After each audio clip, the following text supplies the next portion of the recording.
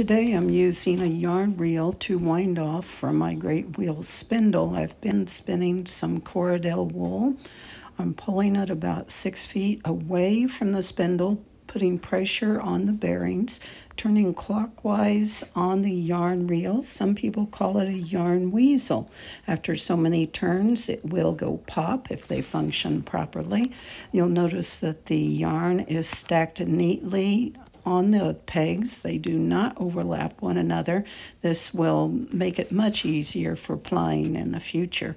I'll keep spinning to the right clockwise. Here you see the one peg that's called the stranger, allowing for easy removal off of the weasel.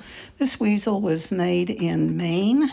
It is stamped and marked has been repaired after 120 revolutions. It will snap or pop as pop goes the weasel. It should hold about 300 yards.